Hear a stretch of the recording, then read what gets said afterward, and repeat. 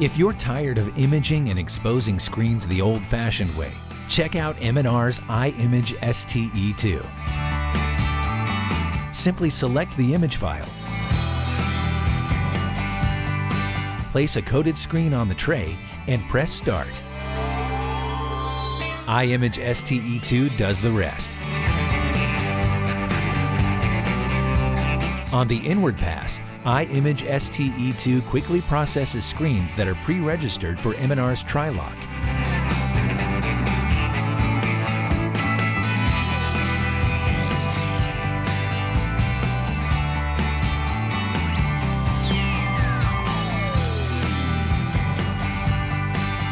In fact, three printhead models can generate and expose full-size images in less than a minute.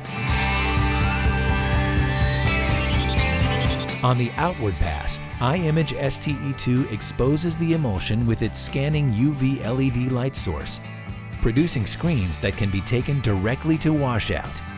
And iImage STE2 features a secondary UV LED light source for dual cure emulsions. STE2 images are superior to traditional film positives with greater detail and smoother halftone transitions. Isn't it time you joined M&R's digital screen room revolution?